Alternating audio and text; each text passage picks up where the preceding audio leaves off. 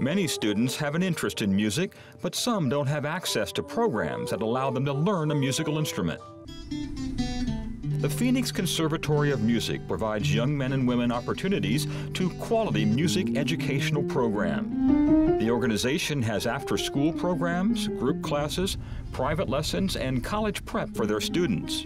Lord Childs, a high school student in the program, has been involved since the sixth grade. Lord enjoys learning and practicing his musical skills at the studio every Saturday. We, uh, the first day, we'll like choose a couple songs that we'd want to do.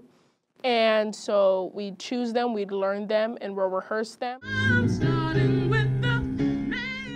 The Conservatory of Music was recently recognized with the 2017 National Arts and Humanities Youth Program Award, the nation's highest honor for organizations that have creative youth programs.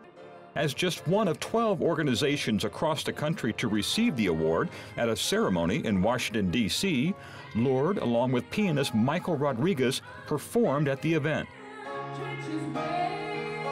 Regina Nixon, the president of the Phoenix Conservatory of Music, has worked in the organization for almost 20 years.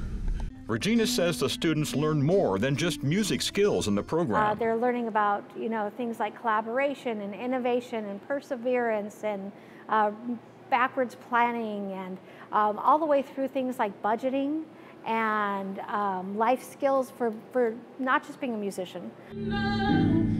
Besides the musical education, Lord finds his confidence increases when he writes and performs music. It makes me more confident when I'm writing. It makes me more confident when I'm performing. It makes me, um, it just really makes me glad. the students here are not only learning how to be good musicians, they are developing personally. They're not just learning how to be great musicians, hopefully they're learning how to be really good people too. Reporting for Know99, I'm Chuck Emmert.